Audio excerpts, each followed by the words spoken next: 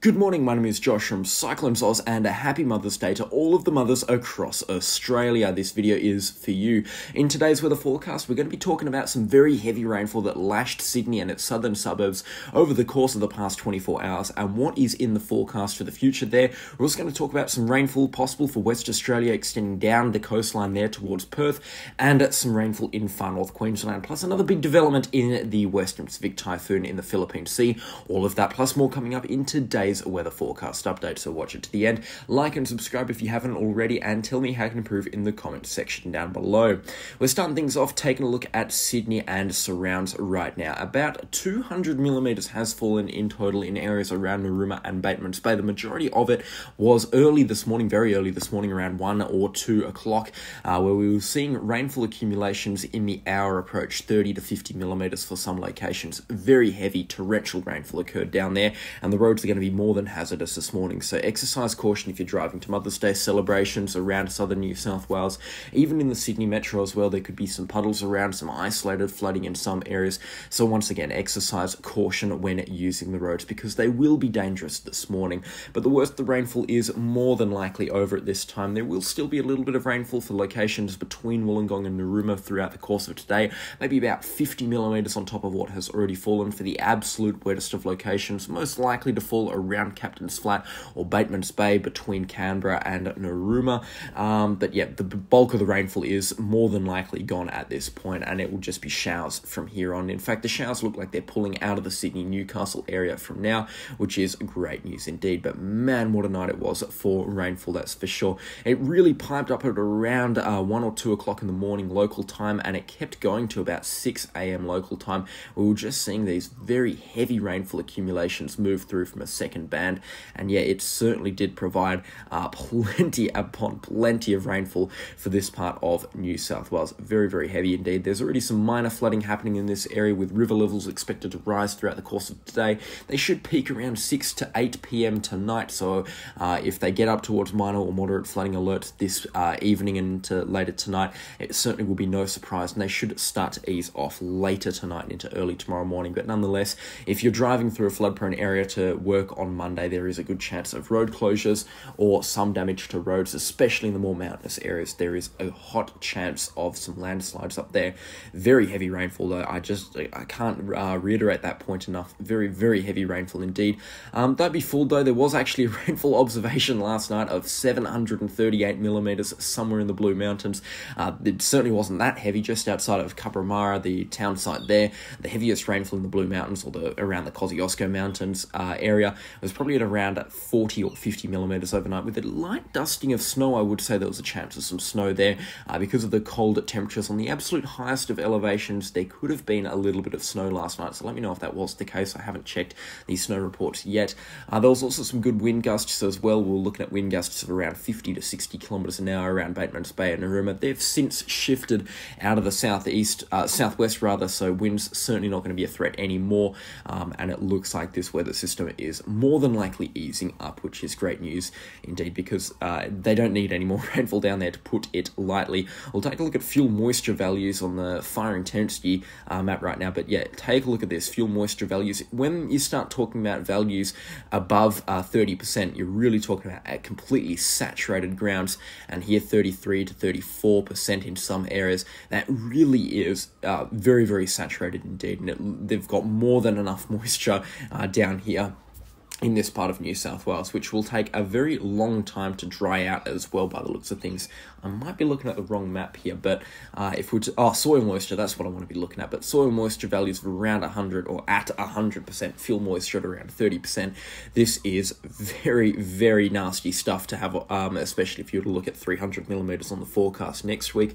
Thankfully, it looks like the rainfall is over for the foreseeable future, which is fantastic news because, like I have been saying, they do not need another dry drop down here, especially between Mallacoota up towards Wollongong. They do not need another drop of rainfall. And it would actually be quite beneficial if the rainfall was to move a little bit further inland, just outside of the Blue Mountains around Wagga Wagga or Young. Uh, that'd be where some rainfall it would be more than welcome. But I mean, New South Wales, they are well and truly out of drought uh, conditions at this point. It's looking very promising uh, for the agricultural season this uh, year.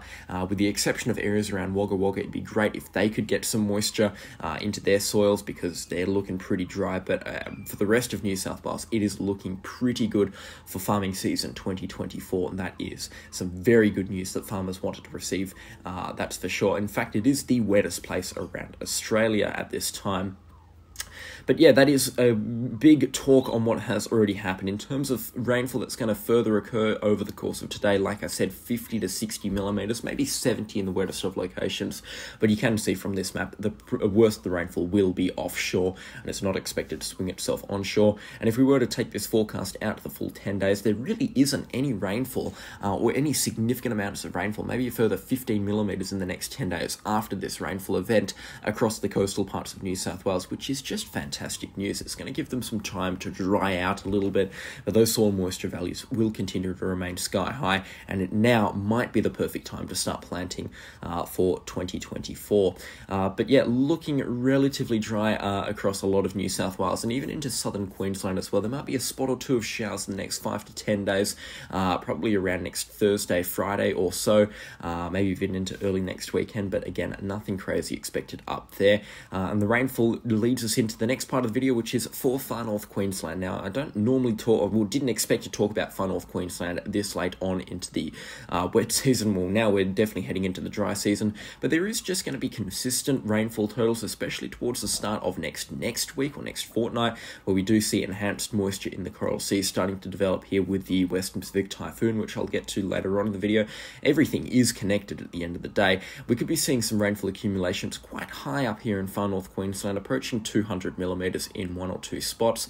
Uh, again, nothing absurd, especially for this time of the year. You can expect 200 millimeters over the course of 10 days, uh, but it is still just an interesting piece to be looking at here, where we're talking about another 130, 140 millimeters in a week long period. But yeah, uh, just make sure you are staying vigilant up in far north Queensland. If there's if there's some heavy showers coming in off the coast, uh, I'll certainly be giving you uh, days warning in advance of some heavy rainfall that's going to be happening up there. But just considering how saturated the catchments are up here. Any significant rainfall or significant amount of rainfall, where we're talking 50 to 80 millimeters falling in a 24 hour period, will cause some flooding. Uh, but yeah, up here, always make sure you're taking caution on the roads and taking caution around rivers and streams because being tropical, uh, rivers can flow out of control on very short notice, that's for sure.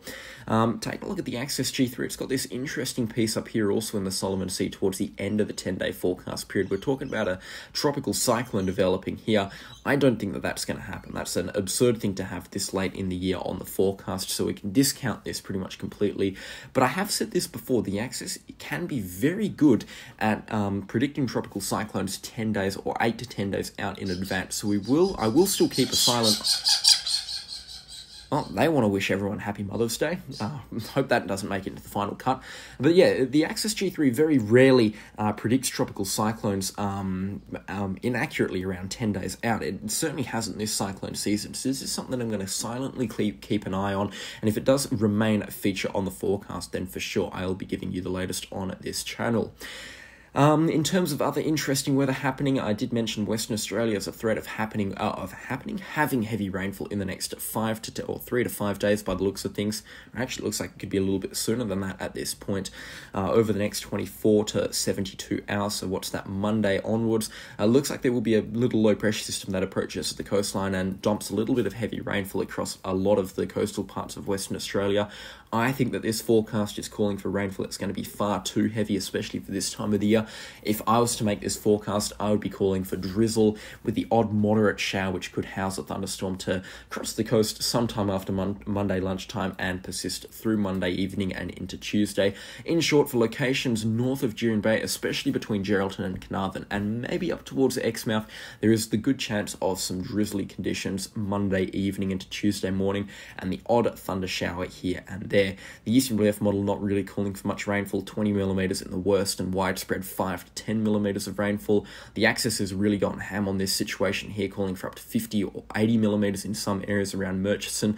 That's probably a little bit extreme at this time. The GFS, probably the most reliable model of them all, uh, calling for the absolute worst of around 15 millimeters just outside of Murchison. Uh, in short, this isn't going to be a rainfall or flooding emergency. We're looking at 70 or 80 millimeters falling in a desert part that only receives 100 millimeters in a calendar year. But there is still the chance of a little bit of rainfall up here, which would be, again, fantastic news. 15 millimeters in light fashion uh, will uh, help things go a little bit greener ahead of winter. Certainly will help um, uh, potential crop growth up in this part of Australia. Not sure what you'd be growing up here, but in the northern parts of the wheat, but if the rainfall made it that far south, it will certainly help uh, get the ground just that little bit wetter for farming season 2024. But in terms of other interesting weather, there really isn't much to talk about across Western Australia. You can see that um, actual system starting to come ashore now or move ashore. It's actually a very strong front with some uh, good thunder showers, but it is moving in a southerly trajectory. So this won't even uh, be a problem for Western Australia at all, even though it is just offshore at this time, only a couple of hundred kilometres offshore. You might be able to see this on radar later tomorrow, um, but I don't really think so, and it is a slow moving front um, at this time, uh, and it will separate, and another low pressure system will move up the coastline and impact um, up at Geraldton, Kalbarri sort of area. Uh, really getting my words lost at this time. But yeah, it looks like it's developed quite nicely and it's going to be moving up further north. But that uh, strong thunderstorm band that's really developing right now in the satellite imagery, that's going to be moving due south at this point. It's not even going to be a worry to Western Australia at this time, even though it's quite close in proximity. We're going to keep it on satellite imagery and we're going to move up into the Western Pacific and talk about the big cluster of thunderstorms that's starting to pipe itself up over uh, the Philippine Sea at this time, south of Guam. Now, we have been talking about this for the last couple of days, and the models have been chopping and changing like crazy. The ECMWF has never really been behind this storm at all. The GFS really got behind it about two weeks ago, then it got behind it about a week ago, and it since dropped it as well. So the GFS and the ECMWF not totally on board with it, and the ACCESS G3 model really not on board with it either. They're calling for a big, broad low pressure system, with the bulk of the activity moving down towards the Solomon Islands down there. In short, there is a good chance of a tropical cyclone or typhoon developing out of this weather system that's going to develop later this week into the next weekend. Um, but we're not 100% sure if it's going to develop into a big typhoon anymore. So this is a pretty major change once again. The GFS is still holding on with dear life to something developing uh, south of Guam, but again, they've pushed it back in towards late May at this point. It should have developed now uh, if you were to follow the initial forecast, this tropical cyclone, typhoon, I should be calling it. See, this is pretty interesting indeed. I'm not sure why it is uh, like this. It's just kind of an interesting factor on the forecast. Normally, the GFS is not one to be changing its mind up every single model run and flipping and flopping around. But in this case, it is, and it doesn't look like this is something we need to be worrying about at this time. We've been talking about fire danger ratings as well later on into next weekend and into early next next week up in the Northern Territory and Western Australia. And to be fair, they don't look overly concerning anymore. They're looking pretty stock standard with high to very high fire danger ratings around the big metro areas of Darwin and Katherine, and extreme fire danger ratings deeper into the Northern Territory, where you would be expecting extreme fire danger ratings pretty much year round to exist through there. Um, but yeah, it doesn't look like it's going to be as bad of a situation now in terms of fire danger ratings, but I'm going to keep my eye on this because we don't want a big time fire event to happen across the Northern Territory and Western Australia. It's just an interesting development in our forecast here that we have to just make do with, really, and see what happens out of it. Um, we'll be giving you the latest as well over the next 10 days, even though this is a very confusing forecast at this time. But yeah, you bet this is the source of the latest weather information nationwide. Thank you so much for watching this video as well. A happy Mother's Day to all of the mothers over Australia and New Zealand as well, wherever you're watching around uh, the Indian Pacific region or up in towards Asia as well. A very happy Mother's Day to those that celebrate it. Uh, make sure you got your mum a nice bunch of flowers or a nice gift or something. Uh, but yeah, that is all from me on this weather update update, and I'll catch you all in the next storm. Goodbye.